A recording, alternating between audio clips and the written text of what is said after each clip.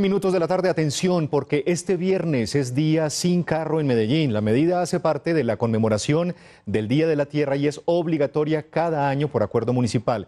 El día sin carro prohíbe la circulación de carros y motos desde las 7 de la mañana hasta las 6 de la tarde, aunque hay algunas excepciones. Pongan atención. El tradicional día sin carro será este viernes. La restricción de todo el día tiene excepciones es el próximo viernes 21 de abril, de 7 de la mañana a 6 de la tarde. Podrán circular motos con su conductor y acompañante. Podrán circular las motos con domicilios debidamente identificados como ya lo hemos regularizado en todos estos días.